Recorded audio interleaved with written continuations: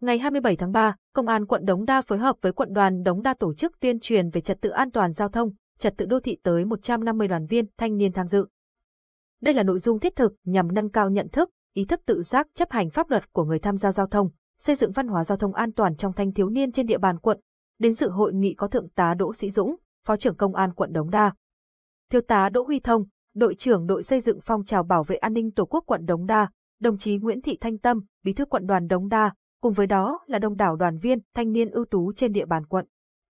Hiện nay, số lượng thanh thiếu niên tham gia giao thông trên các tuyến đường tại thành phố Hà Nội rất lớn, vì vậy, đây là đối tượng đầu tiên cần phải được tuyên truyền về quy định của pháp luật khi tham gia giao thông.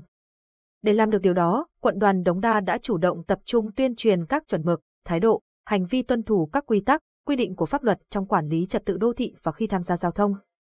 Tại buổi tuyên truyền, Trung tá Nguyễn Ngọc Huynh, Phó trưởng khoa Cảnh sát Giao thông, Trường Cao đẳng Cảnh sát Nhân dân 1, đã thông tin về tình hình trật tự an toàn giao thông trên địa bàn thành phố, những nguyên nhân phổ biến dẫn đến tai nạn giao thông. Hậu quả, di chứng, hệ lụy do tai nạn giao thông gây ra đối với người bị nạn, gia đình và xã hội, một số hành vi vi phạm giao thông phổ biến như không đội mũ bảo hiểm, chở xe kẹp ba kẹp 4, đi ngược chiều, vượt đèn đỏ, không chấp hành hiệu lệnh của người chỉ huy giao thông.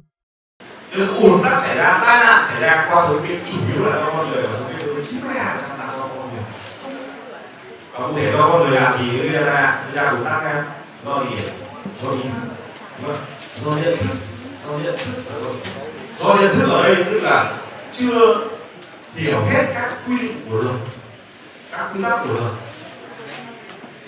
Không biết được là trong trường này đi như nào thôi đấy là do nhận thức. Còn do ý thức tức là gì nhỉ? Biết rồi như sao? Như gì nhỉ? Như không chấp hành Đặc biệt năm 2023 được Bộ Công an xác định là năm xử lý vi phạm về nồng độ cồn, với mục tiêu nhằm giảm thiểu các vụ tai nạn giao thông, nhất là các vụ tai nạn đặc biệt nghiêm trọng liên quan đến bia, rượu. Thời gian qua, công an các đơn vị, địa phương trên địa bàn thành phố tăng cường tuần tra, chốt chặn xử lý nghiêm các trường hợp vi phạm, với tinh thần không có vùng cấm.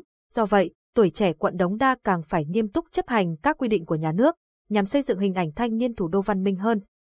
Buổi tuyên truyền đã trang bị những kiến thức cơ bản về lĩnh vực giao thông đường bộ cho đoàn viên thanh niên trên địa bàn quận Đống Đa, góp phần nâng cao nhận thức và ý thức chấp hành luật giao thông, phòng ngừa vi phạm và tai nạn giao thông.